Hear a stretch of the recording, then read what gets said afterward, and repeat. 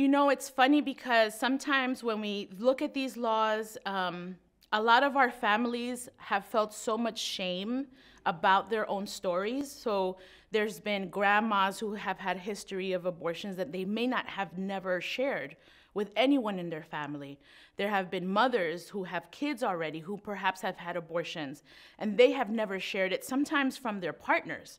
Um, so there's uh, this idea that this only happens to a certain demographic, that these um, abortions only affect, or lack of, of access to abortion only affects a certain demographic, but the reality is is that families have been receiving abortion care for thousands of years. And so the more that we are able to talk about it, then there's that less